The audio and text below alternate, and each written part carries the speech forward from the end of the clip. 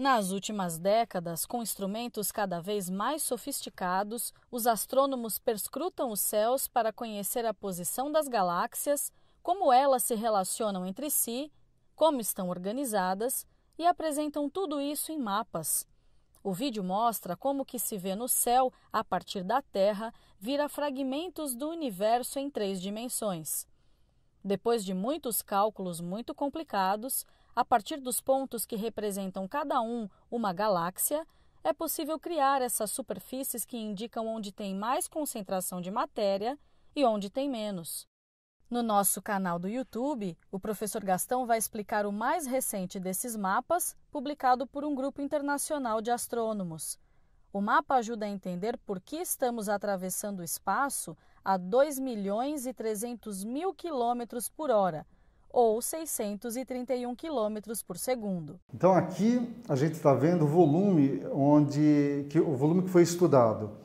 Então dentro dessa caixa que tem 1,74 bilhões de anos-luz de lado, eles mediram a velocidade e a posição de milhares de galáxias. Com isso eles puderam mapear a densidade, primeiro que a gente está vendo aqui, da distribuição de galáxias no universo. Então a gente tem em cinza uma densidade mais baixa e em vermelho uma densidade mais alta. Então essas regiões de baixa densidade vão perdendo matéria que tá, vão cair lá onde tem mais densidade. Isso durante 14 bilhões de anos acaba resultando no quê? Em superaglomerados como Shapley, Hércules, vários superaglomerados que a gente observa aqui perto e regiões que a gente chama de vazios, são regiões que não são, é, não, não é um vazio completo, zero. Tem alguma coisa lá, mas tem muito menos do que a média do universo. Tá? Porque a matéria que estava lá acabou literalmente é, escoando para os lugares que têm mais densidade. E uma vez que a gente conhece essa, essa distribuição aqui, a gente também pode desenhar por cima ah, as trajetórias que a gente espera que as galáxias tenham. Então, eles mostraram que a trajetória tem essa forma de dipolo, isso é, tem um polo atrator um polo repulsivo aqui, que leva as galáxias nessas, é, com essas trajetórias aqui. E o centro de atração é esse superaglomerado de Shapley. Então, aqui a gente gira o cubo para ter uma visão tridimensional desse, uh, dessa configuração. E enquanto a gente estava vendo lá o fluxo na direção do, do atrator, aqui a gente está vendo o, o, reverso do fluxo, quer dizer, de onde estariam saindo as galáxias. Quer dizer, não que estariam saindo realmente as galáxias, mas qual que é o caminho que a matéria faz.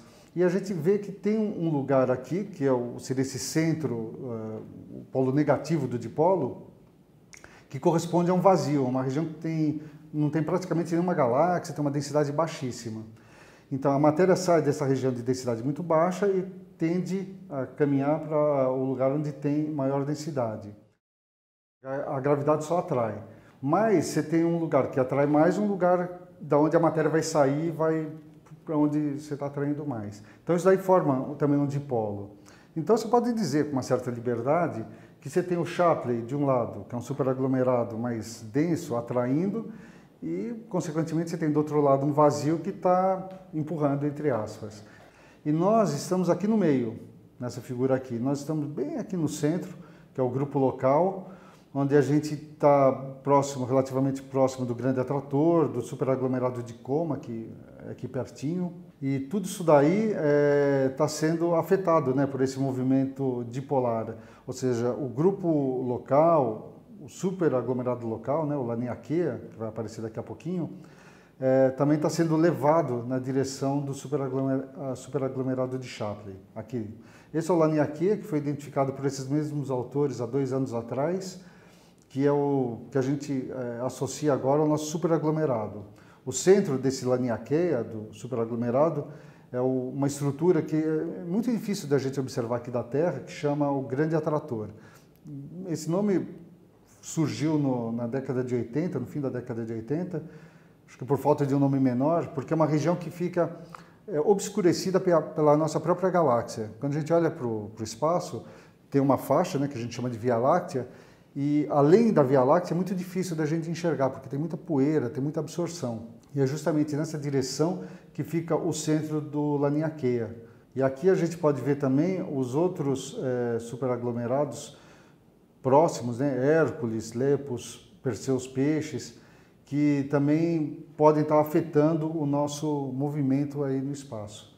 Mas aparentemente o grande resultado deles é que o Shapley é um, um atrator mais importante do que a gente acreditava, enquanto que uh, tem um vazio lá atrás que funciona como o dipolo do, do grande desse atrator de Shapley. E aí uma animaçãozinha mostrando como como são é, os vetores de velocidade da matéria que está é, interagindo né, nesse dipolo aí. Isso, a princípio, explicaria o nosso movimento, o movimento do grupo local de 630 km por segundo em relação à radiação cósmica de fundo.